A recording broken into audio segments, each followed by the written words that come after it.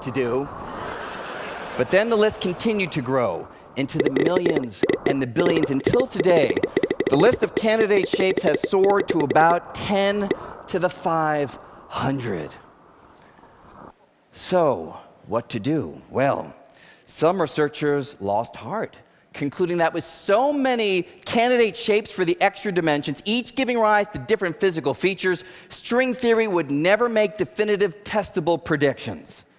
But others turn this issue on its head, taking us to the possibility of a multiverse. Here's the idea maybe each of these shapes is on an equal footing with every other, each is as real as every other in the sense that there are many universes, each with a different shape for the extra dimensions. And this radical proposal has a profound impact on this